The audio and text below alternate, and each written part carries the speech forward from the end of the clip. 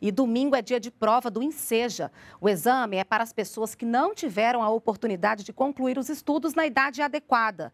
Vamos até São Paulo. Ricardo Ferraz traz os detalhes para a gente. Bom dia, Ricardo.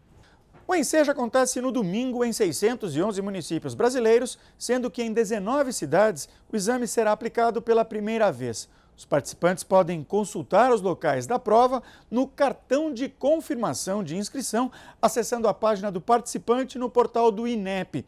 O exame é destinado àquelas pessoas que não terminaram os estudos e que agora podem optar por demonstrar as habilidades do ensino fundamental e do ensino médio.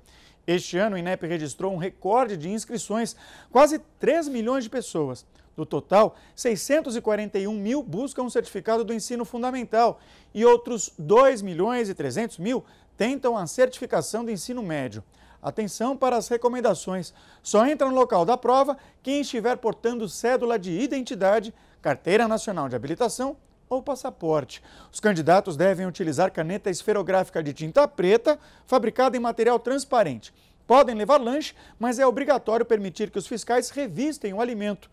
E cuidado com o horário. As provas serão aplicadas no turno da manhã, das 9 da manhã à 1 da tarde e das 13h30 da tarde às 8h30 da noite, no período vespertino. Os portões serão abertos com uma hora de antecedência e fechados 15 minutos antes do início da aplicação.